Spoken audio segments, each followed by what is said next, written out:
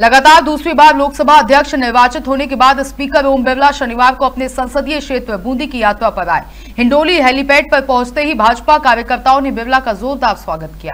मंत्री हीरालाल नागर, पूर्व मंत्री प्रभुलाल सैनी, पूर्व मंत्री बाबूलाल वर्मा, पूर्व विधायक अशोक डोगरा, सांसद दामोदर अग्रवाल सहित कोटा बूंदी के जन प्रतिनिधि की मौजूदगी में उन्हें गार्ड ऑफ़ ऑनर भी दिया गया। इसके बाद मीडिया से बातचीत करते हुए बिरला ने कहा कि हाड़ोती की जनता के बीच रहकर मुझे बहुत कुछ सीखने को मिला है।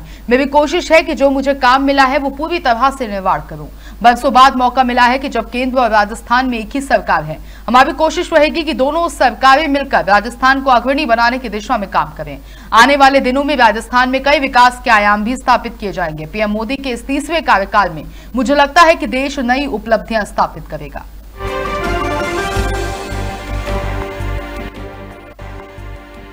कोटा बूंदी, ये तमाम हारोड़ती क्षेत्र। ये हमारे सामाजिक, राजनीतिक, छात्र जीवन से हम यहाँ पर ही सब कुछ हमने अनुभव किया, यहीं सीखे।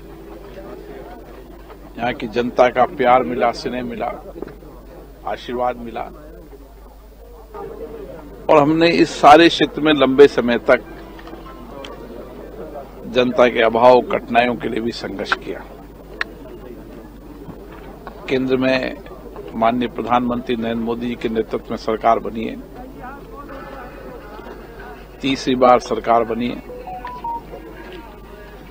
और तीसरी बार जहाँ नरेंद्र मोदी जी के नेतृत्व में देश आगे बढ़ेगा, हमारी कोशिश होगी कि राज्य और केंद्र मिलकर, क्योंकि राज्य में भी भारतीय जनता पार्टी की सरकार है, केंद्र में भी भारतीय जनता पार्टी ये संयोग काफ़ी वर्षों बाद राजस्थान को मिला है।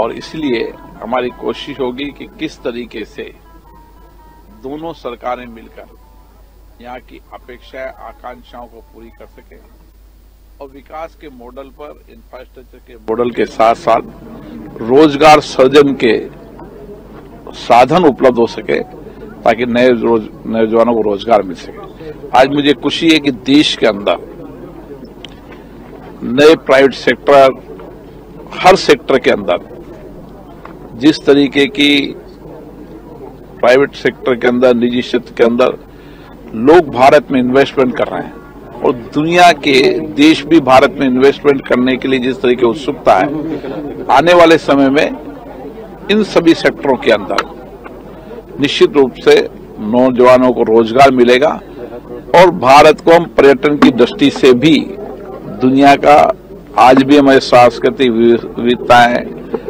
हमारी अलग अलग हमारी भौगोलिक स्थिति के कारण दुनिया के पर्यटक यहाँ पर आते हैं। तो ऐसे